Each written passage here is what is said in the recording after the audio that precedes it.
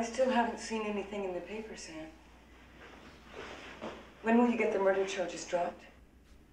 I am sick of you harping on that, Virgilia. Like I'm sick of servicing you? Oh my God. I didn't mean that, Sam. I didn't. Believe me, Sam, you're the only friend I've got. Please forgive me, Sam. Please.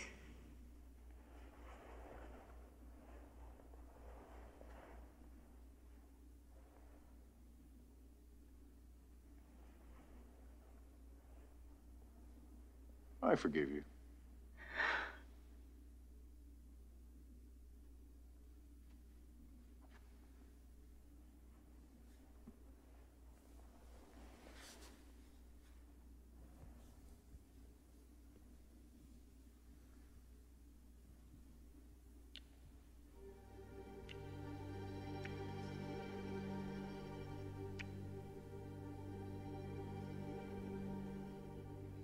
Will I see you tomorrow, Sam? Are you asking how soon I'll be back with more money? You know I'm not asking that. I enjoy being with you, Sam. Virgilia, the fact is, I won't be back tomorrow or any other day. You can't mean that. The party feels I will be the most effective candidate for the Senate. That means that knowing you is something of a risk. Someday, somebody's going to find out about us. But you care about me, Sam. I mean something to you, don't I? Do you really think I'd risk being ruined politically? No. My dear, you were a challenge. Like so many of life's challenges, once it's met, moves on.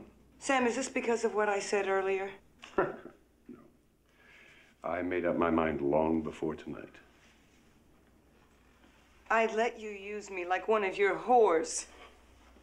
There's no need to be crude, Virgilia. There's a brighter side.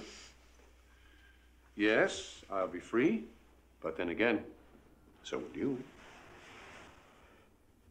What do you mean? You need no longer worry about the murder indictment against you.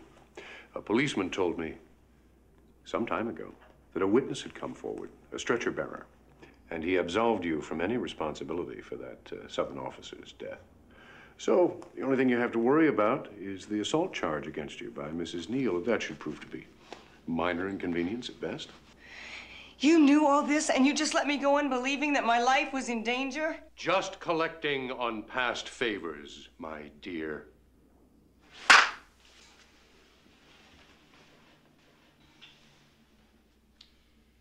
You don't have to worry about moving immediately. The rent's paid to the end of the month. Excuse me. Virgilia.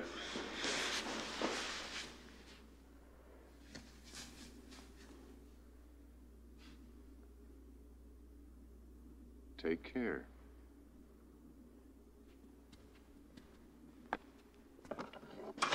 Goodbye, my dear.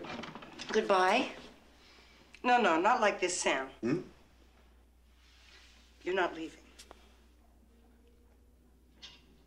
Virgilia, you're upset. And you don't know what you're doing. I know exactly